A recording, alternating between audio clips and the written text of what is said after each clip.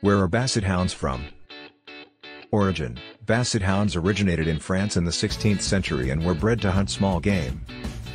Selective breeding Breeders selectively bred various types of hounds to create a dog with short legs and a long body to follow scent trails through underbrush. Popularity in England Basset Hounds gained popularity in England in the 19th century for hunting and as pets.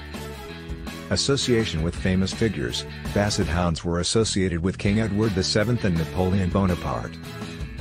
Popularity in the United States, Basset Hounds were introduced to the U.S. in the late 1800s and quickly became popular as pets. Purpose today, Basset Hounds are still beloved family pets known for their friendly personalities and distinctive appearance.